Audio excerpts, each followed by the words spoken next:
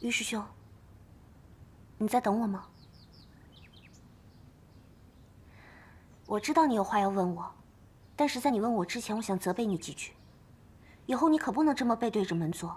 虽然我知道你武功很高，没人伤得了你，但是凡事总要小心一点，不是吗？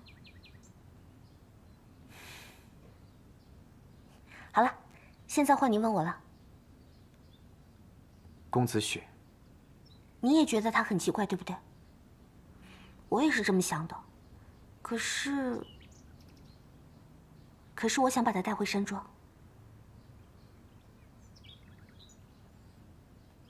好，听你的。我自小就从来没有出过山庄，所以这一路上除了他，没有人认出过我。而且他还知道山庄很多隐秘的事情，包括战风的事。什么事？他知道战风两年前带回来了银衣，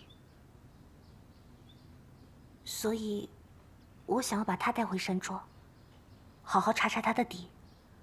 假如他真的是个敌人的话，那把敌人养在自己身边，岂不是更好吗？对吧？对。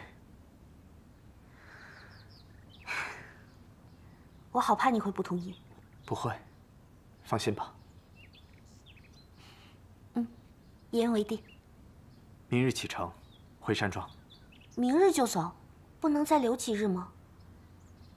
我，我不敢面对他们。再不回去，怕来不及。为什么会来不及？发生什么事了吗？战风向师傅提了退婚。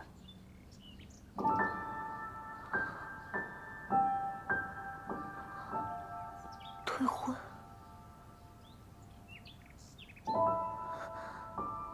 他是当真不想娶我？